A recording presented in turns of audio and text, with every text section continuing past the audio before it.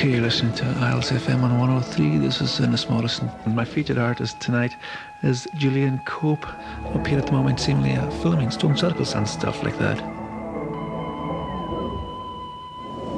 If you just come and see what's going on in Britain, in this big island, it's kind of empowering to realize that it's on your doorstep. We don't have to drive across America to uh, achieve our inner self. I came out of punk, and punk was taught to sort of diss everything um, to do with hippies, and Stonehenge was to do with hippies.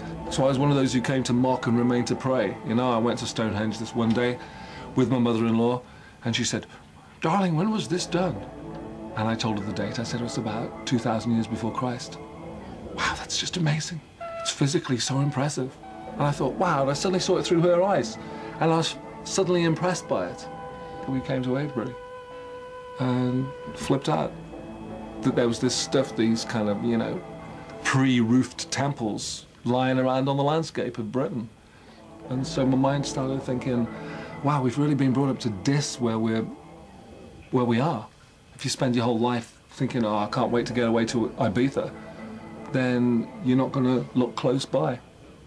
Everything I do is from a rock and roll angle. And I want to explain through my actions that rock and roll didn't start off as an excuse for sloth. It started off because people were forward-thinking mofos. And I want to turn it around for that very reason.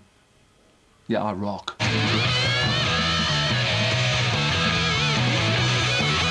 So I took eight years to research and write my book on these first temples. I visited over 500 sites because it's essential to see what the ancients were seeing. I also wanted to let people know what's out there. So now we're going to compress all that research into two weeks on the road.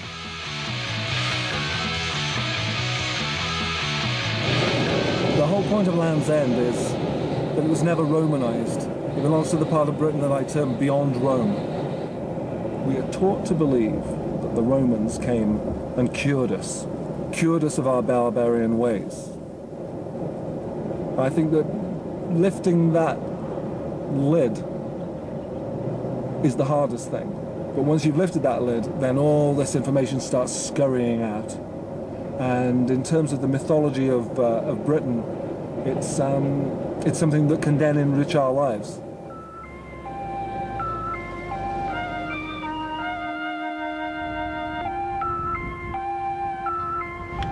We're at Chun Quoit, and Chun is a dolmen, the smallest dolmen, but the most beautiful of all. A dolmen is a kind of uh, a megalithic or great stone box with a large capstone on top. Um, dates back about mm, four and a half, five thousand years. Um, and it's a phenomenon that you find all over Cornwall, you find all over West Wales, parts of South Wales, and a lot in Ireland. But elsewhere, you don't really see them. You see some in Brittany, but um, this is where you find the best ones. People have to think of Chun Quoit as being the megalithic mushroom, and I think really uh, it's the one that looks most like it. It's um, it's so much smaller than the others. It's really hard. You can squeeze in here, but even that's difficult. First thing that this says to me is free time. You don't spend any time building this unless you've got free time. This is a culture which has grappled and finally grasped uh, some kind of control away from the earth and is now standing proud in itself and saying, hey, we exist as well. I would imagine that Chun Quoit was used um, for all kinds of different rituals. Most of those are lost to us. I think that you can spend your life conjecturing. It's very easy to get new age about things like this. But uh, the most important thing is the fact that this thing still exists. There are so few of them, and we're here just to celebrate the fact that it's still here.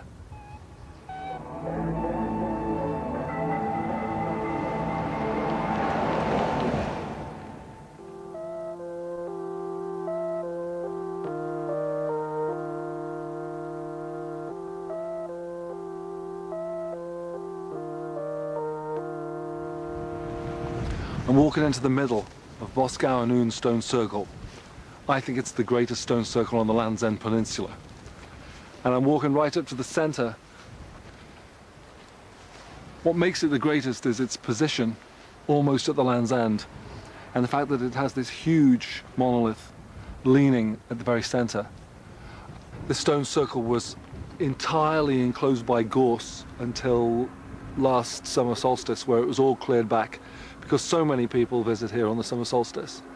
But this is probably the most living site in the whole of Land's End, maybe one of the most living sites in the whole of Britain.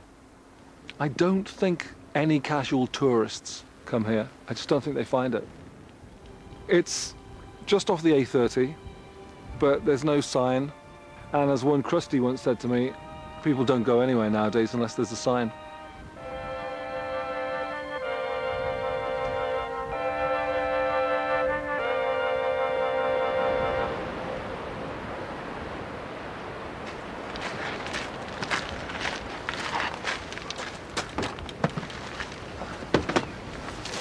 Day two, the Land's End. Feel good. It's 4 a.m. It's not really. Today we're going to go to Boleigh Fogou, also at the Land's End, and then we're zooming off to, uh, we're going from the West Penwith Peninsula to Penrith Travel Lodge. So this is where they were excavating here? Yes. Boleigh Fogou is in Jo May's garden, and we're here to explore how, here at the Land's End, Neolithic ritual lingered into the later prehistoric times. You two, I can't believe it, and you white trainers.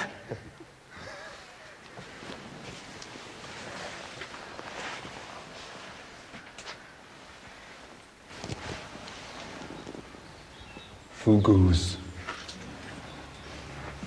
Fogou's an underground chamber which you find in Cornwall, which people who haven't travelled tend to confuse with souterrains, which are other underground chambers, which you find in Ireland, and Brittany, and Scotland. But fogous have a seemingly different function. So this is Ian Cooke, Hello. who's a fogou obsessive and has written a fantastic book called Mother and Son. S-U-N. Yeah. Are you suggesting this was some kind of religious shrine to the fruits of the earth? Yeah, I think that's a very fair remark. I would, Yeah. I would certainly suggest that. Yes, Yeah, I think I all like the evidence goes. Yes, I do. yes, yes. I mean, it got, makes far more sense than ideas of um, refuge and storing um, Yeah. bits of meat and whatever. Totally ludicrous. Yeah. So many people think that there's storage involved here, but I mean, we're all up to our ankles in water. Give us some examples of things that go on here now, Joe. Well, people use this for private meditation. Uh, we bring groups in here sometimes, depending on the kind of workshop, uh, where we might do um, ceremonies of various kinds.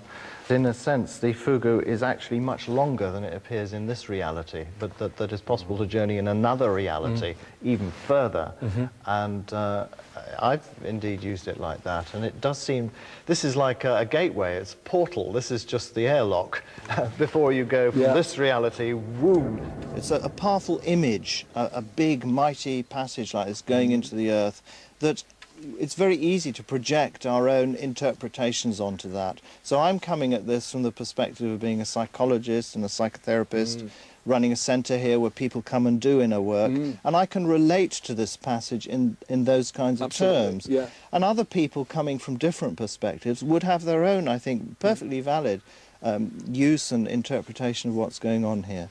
I'm glad we got to do this because I, I was thinking that um, that we wouldn't get to do a fogou, Yeah.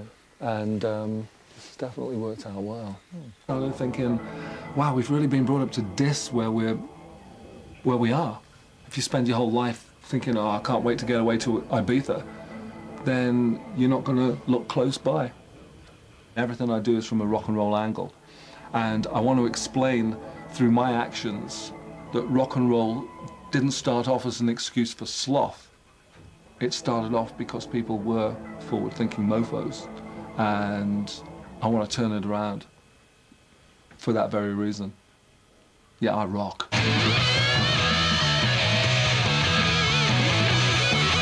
So I took eight years to research and write my book on these first temples. I visited over 500 sites because it's essential to see what the ancients were seeing. I also wanted to let people know what's out there. So now we're going to compress all that research into two weeks on the road.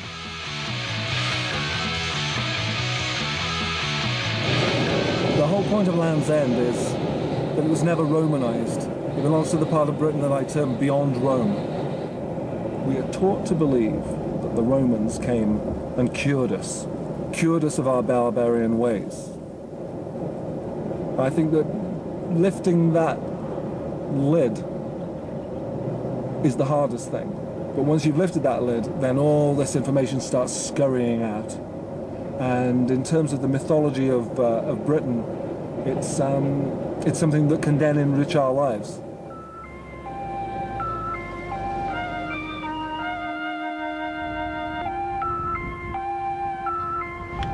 We're at Chun Quoit, and Chun Quoit is a dolmen, the smallest dolmen, but the most beautiful of all.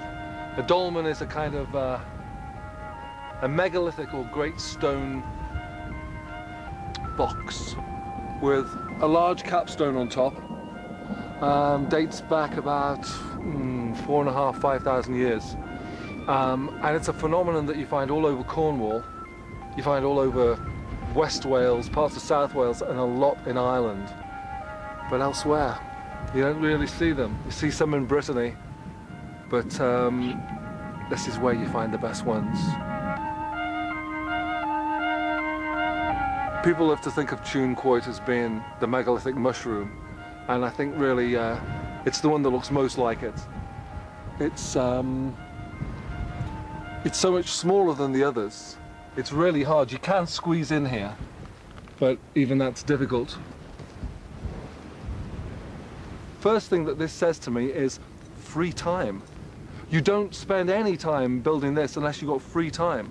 This is a culture which has grappled and finally grasped uh, some kind of control away from the earth and is now and is now standing proud in itself and saying, hey, we exist as well. I would imagine that Chun Quoit was used um, for all kinds of different rituals. Most of those are lost to us. I think that you can spend your life conjecturing. It's very easy to get new age about things like this. But uh, the most important thing is the fact that this thing still exists. There are so few of them, and we're here just to celebrate the fact that it's still here.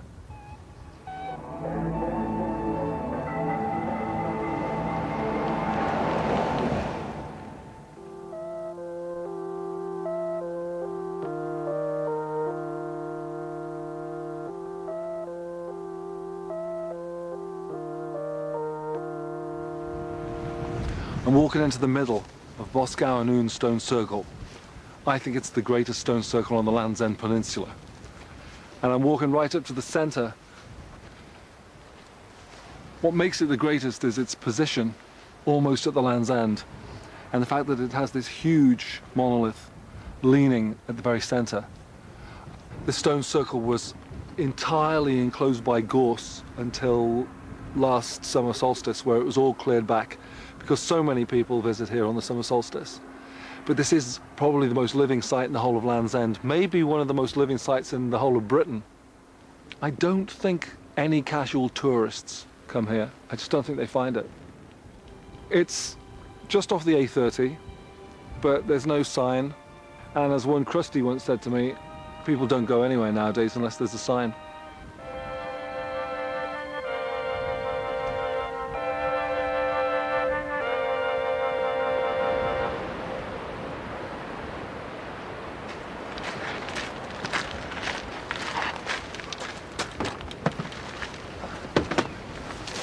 Day two, the Land's End.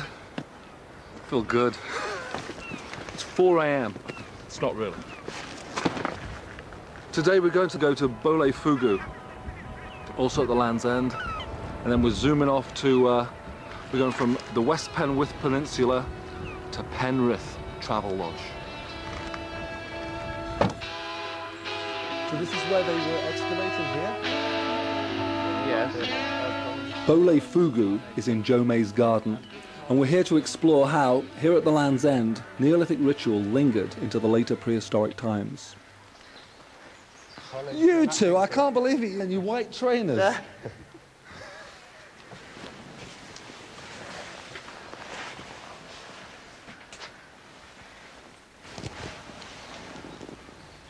Fogous.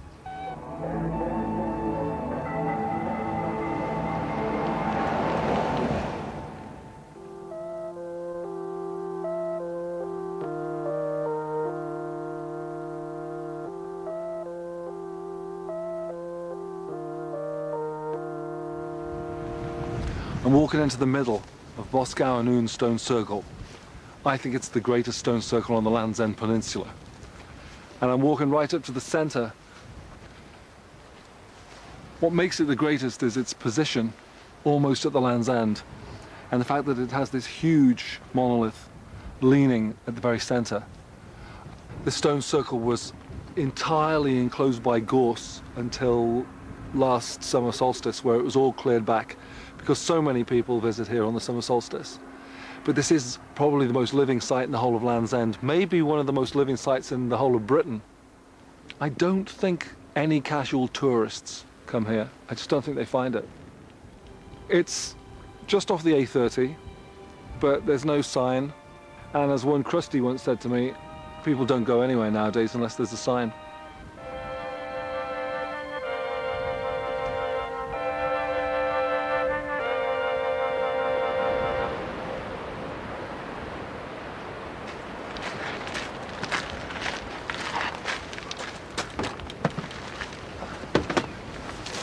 Day two, the Land's End. Feel good. It's 4 a.m. It's not really.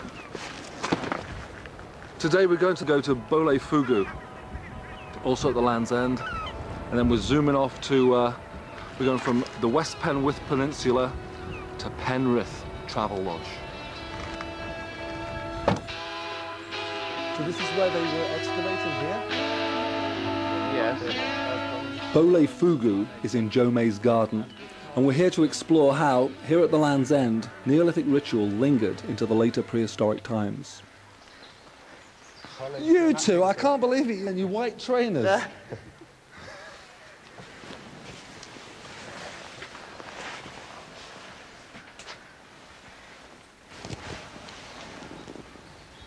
Fogous. Fogou's an underground chamber which you find in Cornwall, which people who haven't travelled tend to confuse with souterrains, which are other underground chambers, which you find in Ireland, in Brittany, and Scotland. But fogous have a seemingly different function. So this is Ian Cooke, who's a fogou obsessive and has written a fantastic book called Mother and Son.